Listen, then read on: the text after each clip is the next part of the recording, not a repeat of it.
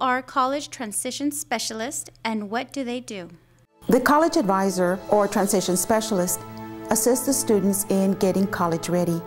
They make sure that the student has completed the admission process, completed the financial aid process, and also is TSI ready, which means that the students have taken the proper tests in order to be accepted at the college and university of their choice. To contact the college transition specialist at our district, call 354 2063.